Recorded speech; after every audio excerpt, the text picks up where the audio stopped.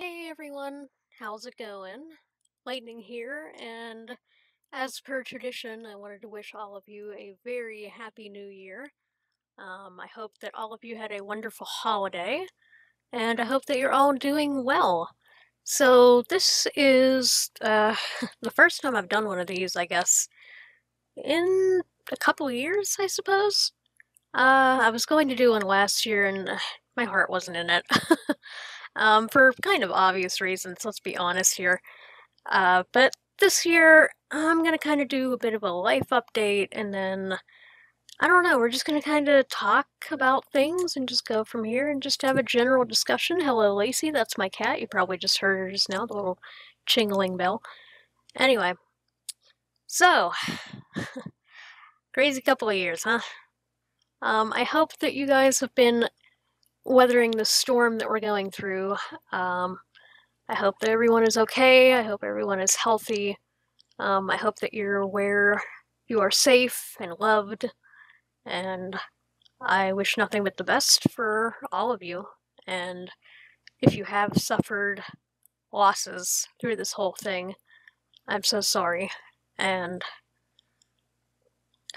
I just don't even know what to say. It's just it's been rough, and I understand.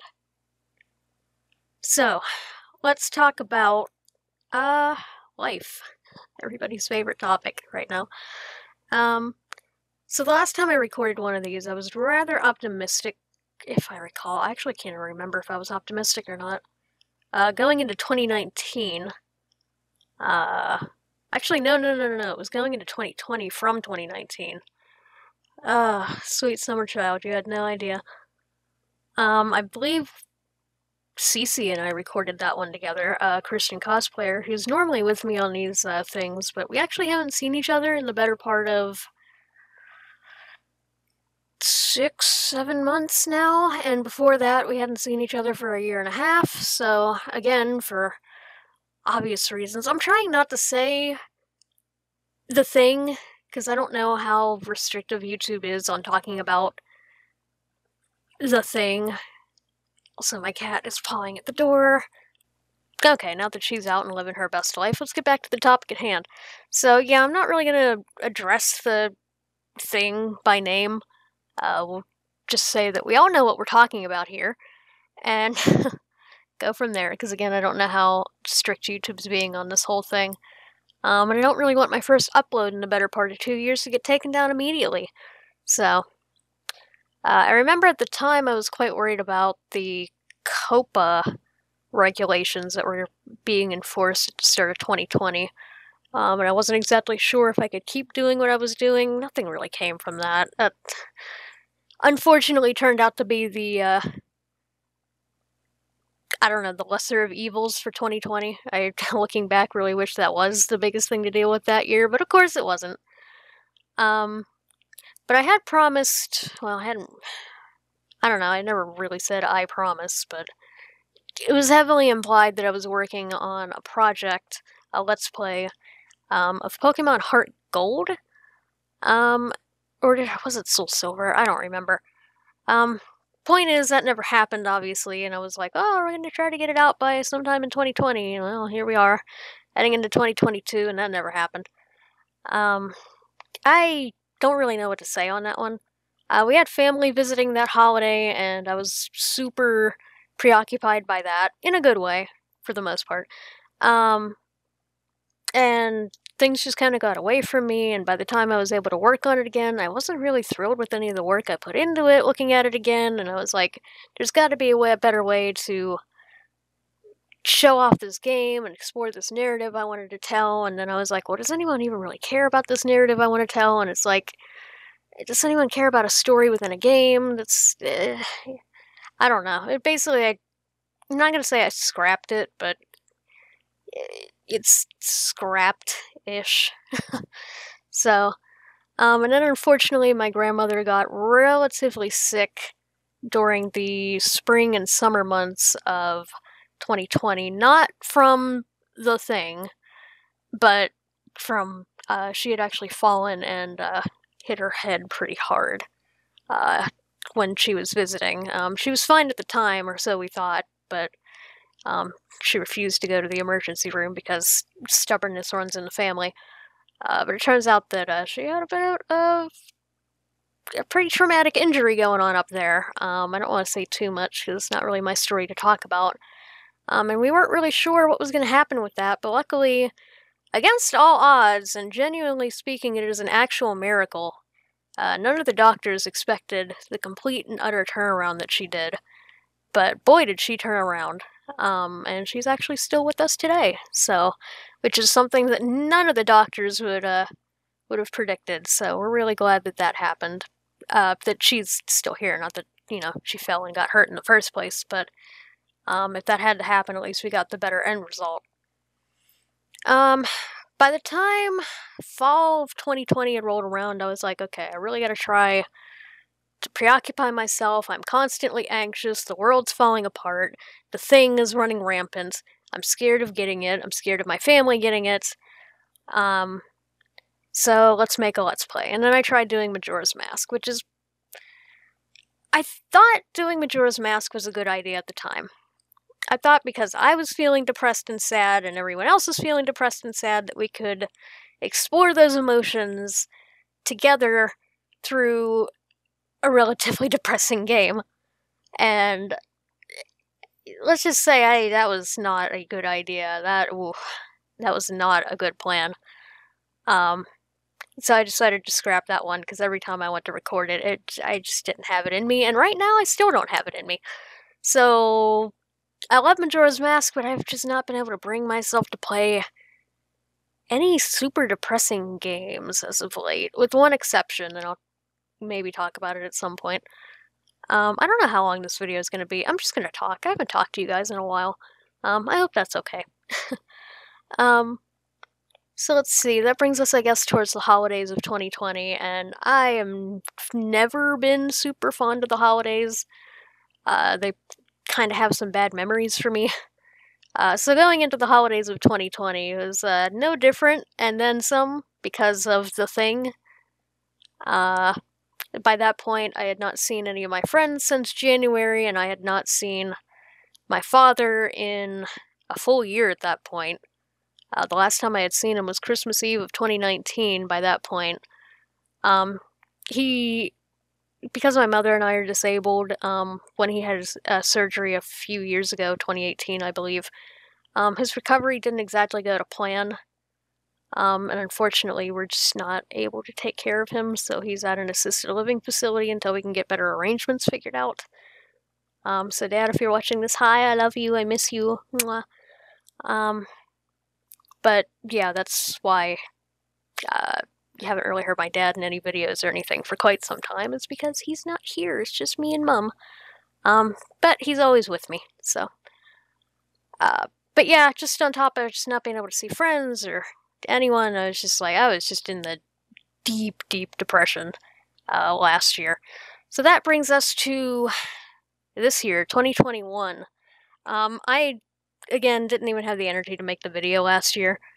Um, for obvious reasons. Then things kind of started to look up a little bit. Um, you know, the vaccines were rolling out, and I got mine, and mom got hers. Dad got his. Oh, oh, oh, no, I forgot about the big part. Um, January of 2021, um, I actually was kind of thinking about maybe trying to do something YouTube again, and then Dad got sick with COVID. Um, and you know, this year has been pretty rough when my dad getting sick with COVID is one of those things where it's like, oh yeah, that happened. I completely forgot about that and the whole host of other things that happened this year. Um, but that did happen. We were a little concerned for a while. Um, his oxygen levels were going up and down a bit, but in the grand scheme of things, before this was before the vaccines were available to everyone uh, and readily available, it was pretty still pretty strict at the time of uh, January. Um, but he pulled through it all right. Um, no serious side effects from what I could tell, other than one maybe little thing that we'll talk about later on. Um, but yeah, he got through that relatively fine. But boy, did it scare the absolute he double hockey sticks out of me. Um, that was a not fun experience, and again, to anyone who's had to go through this, I sympathize.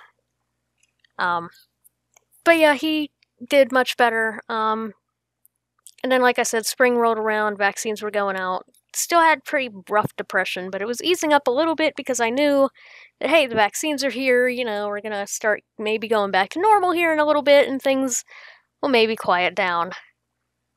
Oh, you small, sweet summer child from spring. Uh, so that brings us into summer. As the big one. So, in summer, specifically June, the very start of June, uh, my mom got really, really sick. Just completely out of the blue. Now, keep in mind at this point, we had gotten our COVID vaccines about two months prior, maybe a month and a half. We got it at the end of April. She was sick at the beginning of June. They tested her, she didn't have COVID, but she did somehow develop pneumonia. So she was in the hospital for four days. She was sent in on Monday, came home Thursday night. And she came home on an oxygen machine and just all this other stuff, and it was just a lot to learn. But for the most part, she seemed to be doing better. Um, I mean, she still needed her oxygen to keep her levels where they should be. But for the most part, it just kind of seemed like a, well, that was a thing that happened, and now we're getting through it, and now we should be done with it. And then June, uh, I think it was 17th or 18th, whatever that Friday was. The Friday before Father's Day. I'm actually going to look that up real quick. I think it was like the 18th. Yeah, it was the 18th. Then June 18th happened. And she was just not doing so great the entire day, but I was just trying to be optimistic and being like, well, she's still fighting this thing, you know, let's give her some time and see what happens. Um, I went to wake her up for supper, and she was basically non responsive. Uh, after a little bit of time, and by a little bit of time, I mean like 45 seconds, she did start responding to me, but she didn't understand a word I was saying. And at that point, I knew something wrong. Something, something's very, very wrong. So I called 911. We had the EMTs come in, um, and they decided that they should probably get her looked at, considering she was just in the hospital for pneumonia. Um, I received a call from a doctor, and they just said that she was severely dehydrated, and I figured that was the end of it. Then I got one of the hardest phone calls of my life. Um, so I get a call around 2 in the morning. It's the 19th of June at this point, and the nurse on the other end of the phone is actually kind of frantic, looking for information. Um, just kind of being like, what can you tell her about her and her case and all this? And I'm like, telling them what they need to know, but also trying to figure out what is going on here, because she hasn't actually responded to any of my texts at this point um, at all, and I just kind of assumed she was tired and fell asleep. Um, she was becoming extremely non responsive to the doctors and the nurses, and they checked her blood work. And normally, um, your blood oxygen levels are supposed to be balanced. Um, you're supposed to have good, balanced levels of oxygen versus carbon dioxide. You don't want too much of either or, otherwise, you start having a big, big problem. Um, her case, however, she had way too much carbon dioxide in her bloodstream, and I'm talking a very lethal amount.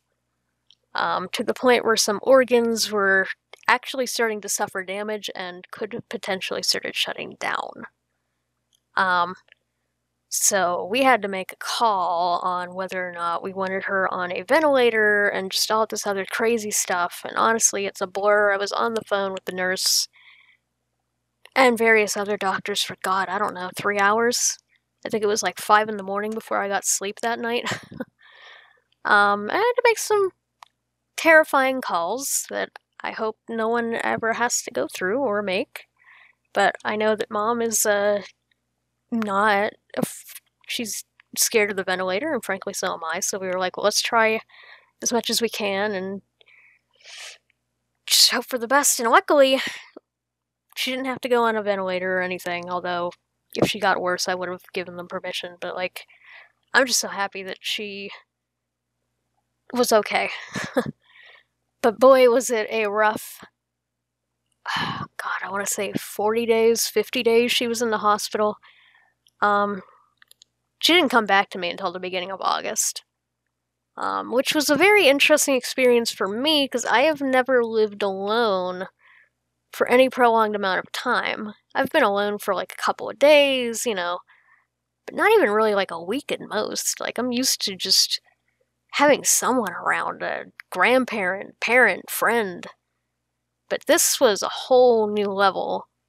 And then the Delta thing started happening, and I couldn't even really rally any friends together at any point to really keep me company, and it was rough, dude. It was really bad. I'm not saying I had it worse than my mom did. My mom, God, she's such a trooper.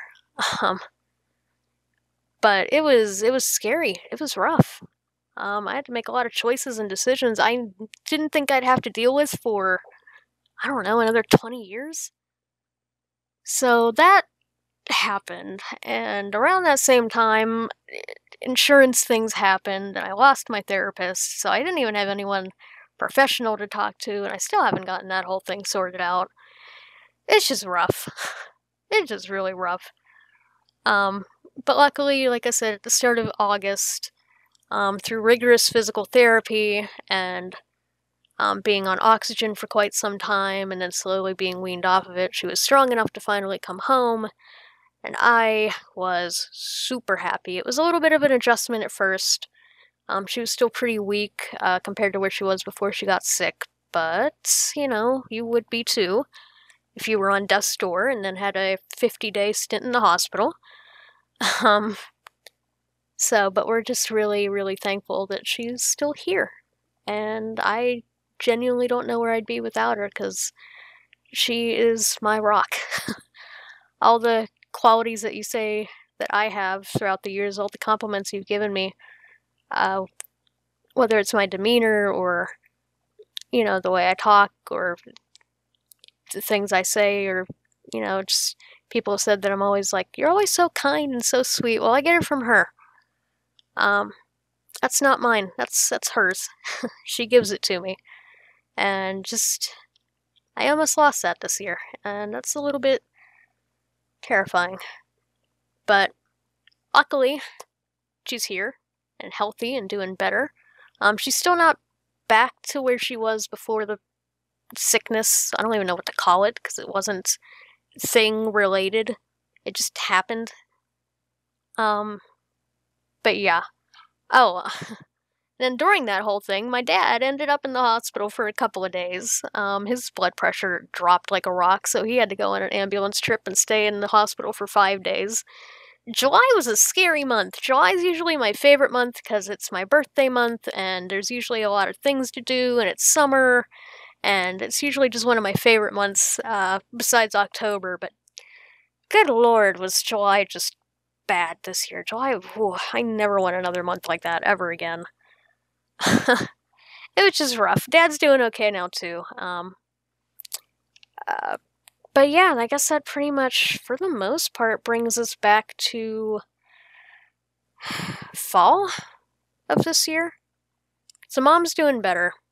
Dad's doing fine. Uh, Delta is running rampant, but we have not gotten it, or at least my mom and I. Although we are being very vigilant at this point, considering she was in the hospital for breathing issues, and we do not want to con like get the respiratory disease of the decade. um, so basically, we'd cut off all contact again. We're back in lockdown here, and it's just frustrating. But you know, at least things are going better. And then September 17th happened. And September 17th was a not good day. so I have this habit of not. this is totally on me, and I'm trying to get better about it, but I let things pile up until. until it gets to the point where I just don't want to deal with it. And my computer is one of those things. And again, I'm trying to get better about it. I'm trying to get better about a lot of things in my life because I realize a lot of the problems I have are my own doing. And this was one of them. But this was the day my hard drive died. On top of that, back in 2014, I had a illness, we'll call it. Um, basically, for people that have a lot of surgeries, like I did when I was a kid, um, and when I was an infant, uh, unfortunately, there's a potential that a let's call it a bridge. Uh, a bridge can form between two organs, basically a little connector that should not be there because two organs should not be connected to each other. That's not really what you want, unless they're supposed to be. But like, it is a foreign connection that the body creates. And in 2014, this thing made me just really miserable and sick, and it's elusive for some reason. It the connection basically opens and closes at random. So one day you'll have the signs of it, and then the next day you could just be free of it for I don't know, three weeks. Let's say three weeks or three days. It's completely random. Um, but yeah, if it's closed up at that time, they're not going to find it on a scan or anything. So, you know, it's an elusive little bugger. But eventually, in January of 2016, they found it. Had surgery in March of 2016 because surgery is pretty much the only way to fix this thing. And after 17 months of just absolute not funnery, I was basically getting ready to get back on the mend. So, brings us back to September 17th. My computer's dead, I'm upset. Then I notice something is wrong with myself, not just my computer. And it's a symptom of that illness rearing its ugly head again. And I just lost it. So I thought I had put that all behind me five years ago, going on six years now. Um, I was told by the doctors that the odds of it happening again were extraordinarily slim. But unfortunately, I'm here to report that it is happening again. so, yeah, that's been a thing I've been living with now since, like I said, I think I said September 17th. Um, it's showing no signs of going away and it is showing all the signs of being just as elusive as the other one was. Um, which is really frustrating, because I do not want to have to go through another 17 months before they can track this thing down. But you do what you gotta do. Unfortunately, this time around, it is a lot more painful. Um, the one from 2014, it was not pleasant to deal with, but it didn't cause me any pain. It caused a lot of imbalances in my body, which would cause me to get sick pretty easily. But I was never in chronic pain. This one, I'm actually in pain right now. talking. Um, like not not that talking causes the pain. I mean, like just in general, like it's just a constant dull ache, and it's like seriously, dude. So, I actually had a scan on Monday to try to find it heard from the doctor this week. It was not shown because I knew it wouldn't be because, like I said, it opens and closes at random, and I hadn't seen any signs of it existing in the better part of a week and a half, and I was like, yep, it's gonna wait until after the test. And lo and behold, that's exactly what happened, and I'm just a little irritated, but that's okay. So, that brings us to today, and that brings us going into 2022. Um, I've been surprisingly active recently. I didn't really think I would be. When this whole thing came up, I was like, well, that's the nail in the coffin for my online presence. Like, I've already come to terms with the fact that this will probably never be a career choice for me, and that's fine.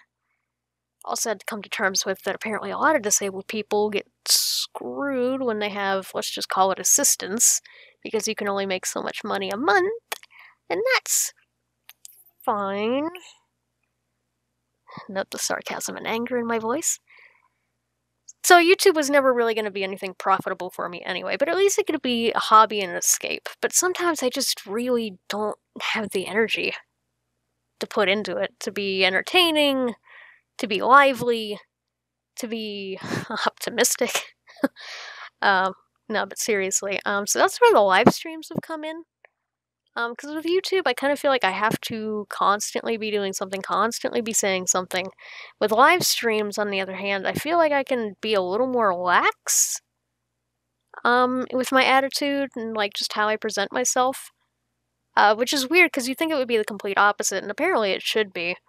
Um, apparently you should take the exact same mentality with YouTube into streaming, but that's not how I've approached it. Um, but I will admit, streaming lately has been really tiring as well. Um, in fact, there was a whole year break um, from August of 2020 to November of this year where I didn't stream at all because I just did not have the mental energy. Um, and then, like I said, everything that I've talked about prior in this video happened, and it was just like, oh boy. So, but it wasn't until like the fall that I was like, I need to stream. I need to feel like I'm doing something or I'm gonna go insane. So that's kind of where we're at with streams right now. We actually just finished up um, my first playthrough of Pokemon Brilliant Diamond, which is a playlist that you can find on the channel. Any and all streams that I have done have been uploaded to my second channel on uh, Lightning VODs or whatever the heck it's called. Um, you can find it in my list of uh, channels. Uh, if you go to my channel, there's going to be like a channels tab, and then you can see it. It's like the first one. Um, if you go to my playlists, um, anything labeled like live stream archive, um, that's something that you probably haven't seen before because those videos get astronomically low views, and I'm not really in it for the views. I'm just like, oh wow, okay, this thing really flies under the radar. Not that I've ever really done a great job of advertising myself, but I just want people to know that hey, these are there, and they are actually some projects that I have been asked to tackle for years now. Like back in 2018 and 2019, we um did Kingdom Hearts 2. Um, granted, it wasn't with Christian Cosplayer and myself, you know, doing a dual commentary playthrough like everyone asked, but until that day comes, or if that day even comes, hopefully that can hold you over slash be the de facto playthrough if we never get around to it, because I don't know when things are getting back to normal to even have that discussion. So, yeah, that's kind of where we're at right now. So there's probably a lot of playthroughs, a lot of lightning that maybe you've missed. And um, as far as what the future looks like, honestly, guys, it depends. It depends on my doctors and stuff, what they tell me. Um, it depends on my energy levels. It depends on my pain levels. Um, right now, I have a nice, warm, cozy, heated blanket to try to ease some of the aches, but sometimes that works, and sometimes it just nope, nothing nothing works that day. So um and of course it depends on just depression. Like I'm not even going to hide it. Like I don't know why it has a stigma about it. Like I'm just going to be open. I have depression. I have anxiety. It's pretty bad. I definitely need to see someone about it because I lost my therapist over the summer. and That is my number one goal for next year. Besides fixing this medical issue, is uh, getting back into therapy, trying to fix these things that I don't like about myself as much anymore. And to hopefully, in the process, be a little more open to doing more stuff here on YouTube. I mean, I have some ideas. Um, I don't want to go into any of them right now because I'm tired of making promises. I've done this going on what, 12 years now? And 2010 was amazing, and 2011 I think was my best year on the channel, but after that, then I started getting these chronic illnesses starting in 2012 and just I still get asked like where's Skyward Sword? Where's Pokemon Emerald? Oh, you promised you were going to do this and that and I can't blame people for asking. I'd be curious too. I'd be like it's been eight, nine, ten years. You know, six, seven, eight, whatever. Like, how many years? Like, what are you doing? and I just, I feel bad because I feel like I've disappointed people and I don't want to keep doing that. So I'm going to keep any and all plans that I have under my hat um, because I don't know if any will pan out. I don't even know if there's really an audience for Let's Plays like there used to be anymore. Um, but one advantage I do have that unfortunately other creators don't have because it's their job and they have to follow the algorithm because YouTube is a soul crushing place that can't allow you to actually be creative But one one advantage I do have is that I can do whatever I want. This is not my job, it is my hobby. Um, until disability rights change or things in my life change, I am not even allowed to make such and such amount of money a month, lest I lose all of my benefits and then my family's really screwed. So I can experiment. I can afford to take chances. I can afford to take risks. Yeah, it would be nice to make some cash on the side, but. And that's why I'm just not really going to put all of my energy into YouTube and Twitch as much as I used to because it's not a monetary source for me. It was for a little bit, got into some trouble with the powers that be.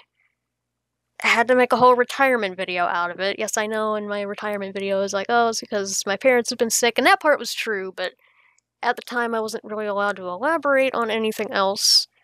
Um, I might not still be able to, but you know what? Screw it at this point. I'm so tired of people dictating how other people should live. And how much you're allowed to make and how much and what you're allowed to do just because you have a disability and I'm just I'm tired of so much. And it's not even just being disabled. It's so many other communities out there that face so many other problems and I'm just I'm tired of seeing it. We are all people. We should all be treated like people. Allowed to love, allowed to live. And unfortunately that's just not the world we live in. But I will say this on that topic. Whoever you are, you are safe here. I will always try to make my content a safe place for people to hang out and just be who they are and who they want to be. Unless that is something that is actively harmful to other people, that I will not stand. But if you just want to come here and just geek out about Pokemon, we can do that. If you want to confess your love for Minecraft, like you can do that too. Like you can talk about so many things here. And I think that's the kind of community I want to foster. I want to foster a community that lives and loves and is I'm not going to say like positive because there's such a thing as toxic positivity, but realistic. Positive when there's positivity. When positivity is necessary for the situation and realistic and maybe sometimes even a little negative if they need to be. So, there's no judgment here. No time for that. Life's too short. So, and you never know what's going to be around the corner. God, this has been a long video, and I'm just going on and on. So yeah, um, I guess that's everything I have to say. I don't know what I'm doing as far as YouTube is concerned, or as far as the future is concerned. A lot of that depends on my health and all that. We do have a Discord, albeit I have not had a hugely active presence on there due to everything I've talked about. Not that I'm using that as an excuse, but it definitely is a factor. Um, I admit I need to be more active on my own Discord server, but if you're not a part of our community and would like to be, I'm sure there will be a link down there below. I also have a Twitter, where I post a lot more frequently than I do here, so um, just kind of get updates on what I'm doing, how I'm feeling. I pretty much have no holds barred on Twitter because, again, I'm small. I don't really have an image I need to care about, so I can be pretty real. So, which is sometimes good and sometimes bad. And I dropped something. What did I drop? I think that was a book. Anyway. I don't know what that was. Uh, so, thank you guys so much for watching and uh, your continued participation with my stuff. Um, I don't think I ever finished the story, by the way, about the computer. Uh, took about a week to get it fixed. It's fixed. Um, I had to wipe the hard drive though, so everything I had is gone. All my, all my Minecraft worlds are gone, man. But no, um, it's unfortunate. But yeah, we did, we actually did lose the one from the YouTube series, so. That's my fault for not backing things up and letting it build up until it was like, eh, what's the point of backing anything up? It'll be fine. And then, oh no, hard drive dead. so, alrighty guys, I've rambled on long enough I can tell I'm rambling, so thank you so much for watching or listening, whatever. I hope you had a wonderful holiday. I hope that all of your days here forward are cherished and wonderful and merry. And I hope you had a good holiday. And I hope that we, as a collective, have a good year going forward. Thanks so much, everyone. I will see you soon. Hopefully, with something a little less rambly and a little less depressing than this update. Um, uh, sorry if I bummed anyone out. I'm trying to work on that. Sometimes I think I talk too much about this kind of stuff, but anyway, all right, for real though, I'm gonna shut up, let you get back to your holiday. Hope you have a wonderful one, and I will see you next time, whenever that may be. Take care. Oh, and uh, my live stream is also down in the description below. Um, I don't have a schedule for that because of again, the medical issues. Some days I feel like it, some days I don't. It's in the description. Uh, just follow me. Follow Twitter. I make notifications and posts and all that crap when I'm going live. So, okay, for real time. Uh, bye bye. Take care. Love you. You're valid. You're awesome. Thank you. Bye.